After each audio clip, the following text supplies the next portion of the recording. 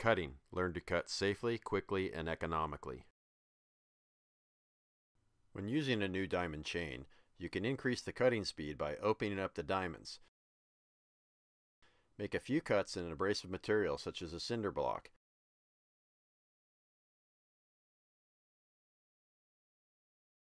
Opening the diamonds will increase the cutting speed.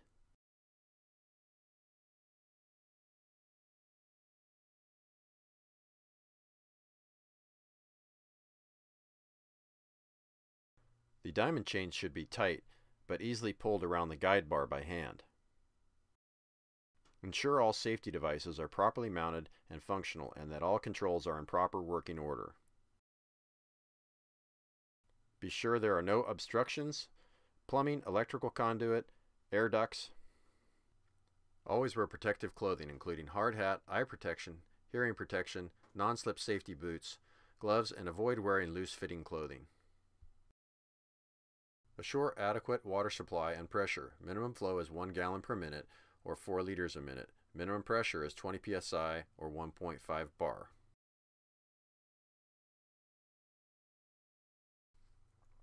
Outline the cut with a permanent marker for a visual cutting guide. Avoid pinching the guide bar and diamond chain.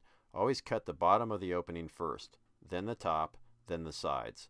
Save the easiest cut for last. Score the entire cut line approximately 1.5 inches deep using the nose of the guide bar.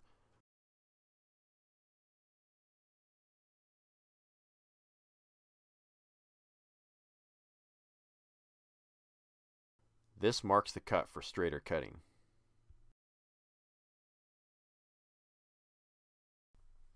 Plunge cut instead of starting on top of a wall. Plunge cutting generally results in a straighter start. If the cut doesn't start straight, it will not finish straight. Also, plunging is the fastest and easiest mode of cutting. Be sure cut concrete cannot fall and injure operator or bystanders. Concrete is very heavy. One cubic foot weighs 150 pounds. To start a cut, hold trigger on full throttle and slowly plunge the nose of the guide bar straight into the wall. Carefully align the nose of the bar with the cut line. Slowly touch the wall with the chain and plunge straight into the wall. Always operate the saw full throttle. Apply enough feed force so that the free running RPMs drop 20 to 30 percent. If too much force is applied, the saw will lug or stall. The diamond chain will not have enough speed to cut effectively. If too little feed force is applied, the diamonds will skid and glaze over. Listen for the sweet spot and maintain that RPM throughout the cut. When cutting rebar, slowly rock the saw so that you're always cutting concrete as well as the steel.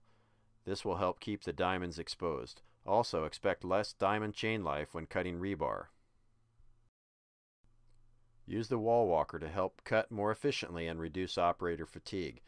The wall walker is a fulcrum that converts inward force to downward force and will develop a 4 to 1 mechanical advantage. To use correctly, plunge into the wall and simply engage the point of the wall walker into the cut and push straight in.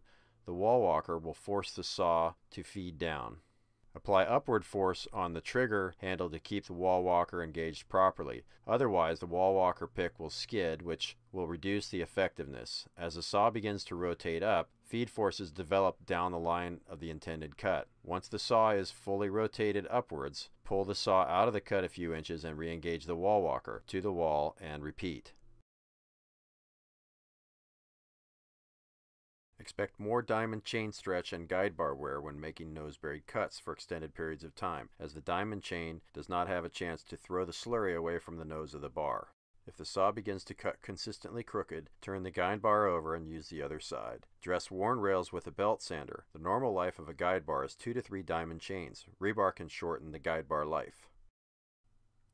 Thank you for taking the time to learn more about ICS. If you have further questions or require additional information, please visit our website at icsbestway.com.